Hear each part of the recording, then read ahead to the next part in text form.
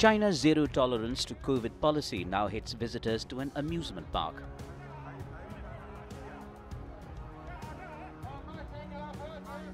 Shanghai Disney has become the latest high-profile venue to shut its gates thanks to China's strict zero-COVID policy, trapping visitors inside.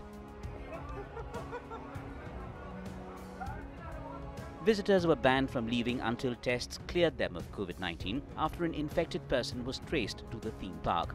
Patrons were told they could leave only once they tested negative for the virus. The shutdown came after a woman who visited Shanghai Disneyland recently tested positive for COVID. Authorities also asked people who visited Disneyland since October 27 to get COVID tests for three consecutive days and to maintain social distancing. Posts on social media said the theme park started allowing people to leave around 10:30 p.m. in batches.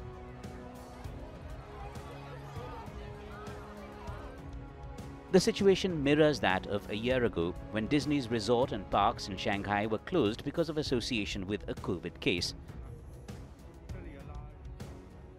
The some 34,000 visitors still inside were subjected to a mass testing exercise, with COVID workers in full PPE manning the theme park's gates before they could leave.